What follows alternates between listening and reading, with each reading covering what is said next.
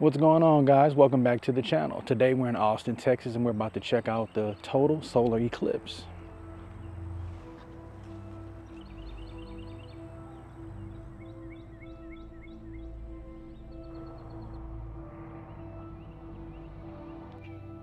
Totality. Here she comes. Here she is. It's dark. It's nighttime, baby. Wow. This is cool, man. We have reached totality, ladies and gentlemen. It is dark during the daytime.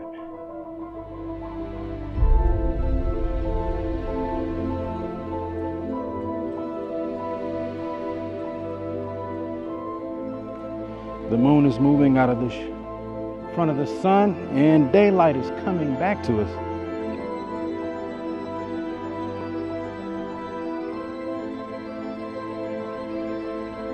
Totality is over.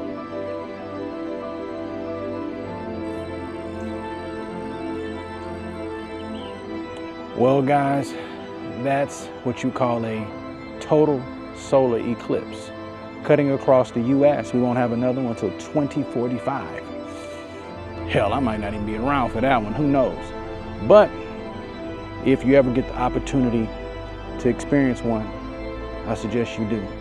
And yes, it seems trivial and it seems like it's only a few minutes of your time, but it goes to show you the world we live in and the universe we live in. As I like to say, the rock we floating on in the cosmos.